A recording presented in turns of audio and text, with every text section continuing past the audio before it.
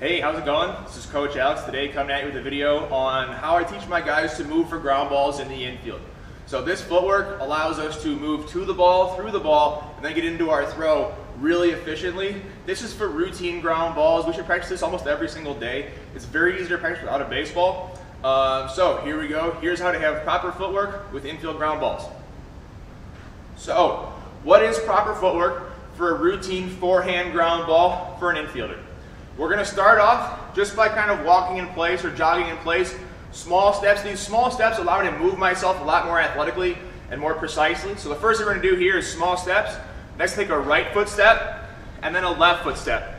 As I take that left foot step, I'm going to get wider, I'm going to get lower, and I'm to be ready to field the ground ball. So there, glove out front, tap the glove, simulate that ground ball hitting it. Then from here, I'm going to bring my right foot through, take my left foot step, and now I'm ready to throw. So one more time, walking on back, small steps, we can be precise, have good footwork. Take our right foot step, left foot a little bit in front. Notice my feet got wider. I'm down ready for the ball, field the ball, right foot, left foot up into my throw. So when we break down, when we take that first right foot step to get ready for the ball, when we break down, it should be one, two, field, three, and then four, so it's four total steps to go through the entire motion. Really important, it's very effective, it's very efficient. It's the best way that we can get through a routine ground ball and get that ball on the way to its target. What I'm gonna do now is break down kind of the process from start to finish of being in a game, what we should be thinking about, how we move to a ground ball that's hit to us, and how we get that throw in the way. So, if I was playing shortstop, pitcher just got the ball back from the catcher, He's looking in for his sign. I should be thinking about if this ball is hit to me, where am I going to throw the baseball? Let's assume nobody's on base. So when that ball gets hit to me, where am I going? I'm going to first. Okay, so now I'm in my, I'm back here thinking about what I'm going to be doing.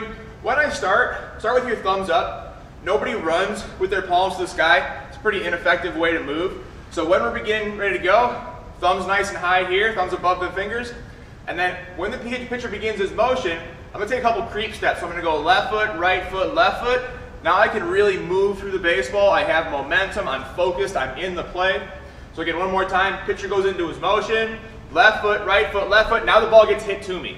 Okay, so again, routine ground ball. I'm moving, moving, moving. The ball comes in, right foot, left foot, field the ball. Now first base is over that way, so I'm gonna go right foot, left foot, and now that ball's on its way, and I'm gonna get my out.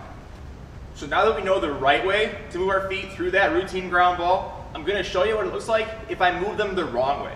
So I'm here, pitcher begins his motion. I know where the ball is going already because I thought about it because I'm a good baseball player. So pitcher begins his motion, creep steps, I'm ready to go, ball gets hit. So I'm charging the ball here. So if I go left foot, right foot, and then field the ball, I'm never going to get the ball off in one step. I'm never going to be able to go field here, separate, stride, and throw in one step. It's virtually impossible for almost every single baseball player. It's so difficult. So what we do instead is have that good footwork. Improper footwork, what I teach against, would look like this. So charging, charging, charging, left foot, right foot, ball hits the glove. Now I have to go left foot, right foot, and then left foot to throw the baseball. So does that extra step make a difference? It absolutely does. That extra step can be the difference between an out or the guy being safe. So again, one more time, proper footwork, what I teach, coming into the baseball, right foot, left foot, field, right foot, left foot, and throw. Another thing to look out for when you're doing this drill or any kind of ground ball drill is you want to make sure that you don't jump stop. So as basketball players, we know that in basketball you're dribbling, you take a jump, and now both feet are in the ground. What does that do? It kills your momentum, and you can use either foot as your pivot foot. So in baseball, why would it be a bad idea to jump stop? Well, like I just said, now I don't have any momentum, and momentum is key in fielding. So if I come to the ball, jump stop, field, now I'm starting from square one in terms of momentum. Now I got to get myself going again with a right foot, left foot, and a throw. It can be effective, but it's just slower. And at any time we have both feet leave the ground, we can't change direction. So if you get a bad hop and you're jumping, that ball's to get by. Okay? So again, one more time, don't jump stop. Coming through the ball, right, left field. Now if that ball takes a bad hop, I can shift weight and get back to here, or I can go over that way and go get it. It allows us to be more athletic and make more plays more consistently. Wrapping up our proper footwork for infield routine ground balls video. Again, just a quick recap one more time. Small steps, small steps, small steps. Know where the ball is going if you're in a game situation. Ball gets hit to you. Break down right foot, left foot here, nice and wide. A little bit staggered with the feet. The ball hits the glove, right foot, left foot, and then we're up into our throw. Again, great drill that you can do at home. Anywhere that you have about uh, six feet of space that you can walk through. It's super awesome drill, and uh, I think everyone should be doing it every single day.